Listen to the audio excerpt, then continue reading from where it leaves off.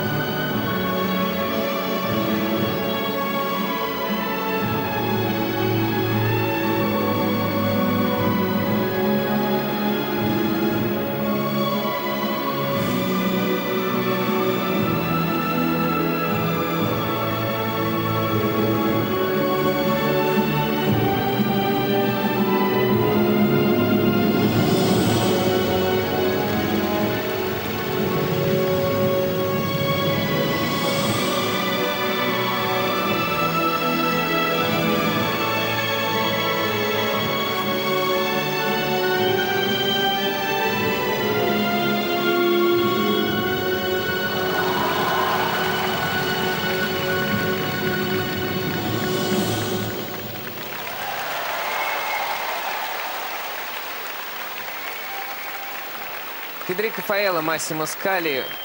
Под музыку крестного отца все-таки. Не, ну все-таки, в каком смысле все-таки? Мы Ну, ничего и не у нас сказали с вами еще. там написано- Написано Нина Рота и написано иммигранты. Что за иммигранты, не знаю. Да. Наверное, И когда Нина Рота успела написать «Иммигранты», но музыка из крестного отца. Ну, тема, наверное, иммигранты. Из крестного отца. Мы не который помним. написала Нина Рота. Да. Он Ну вот и разобрались. написал. Но они в этом году целиком и полностью в итальянских темах. И в оригинальном танце, и в произвольном. Ну и так хорошо на них отечественного производителя музыки костюмов. А что, по-моему, очень интеллигентный костюм. Вы вот э, вначале Очень. сказали про пастельные тона, по-моему. Я же тогда не знал, что они катают. Вблизи видно, что они очень э, качественно сделаны. А у Такие итальянцев прямо. всегда очень качественные костюмы. Вот, Они и- даже не театральные, они практически киношные по качеству.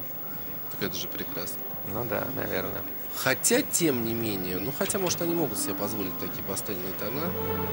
Я считаю, что все равно костюмы произвольной программы должны быть более выразительны сами по себе. Но если у всех будут яркие костюмы, это будет уже какая-то радуга, фейерверк. и Я понимаю что. вас, Василий, вы с 9 утра комментируете фигурное катание, у вас уже...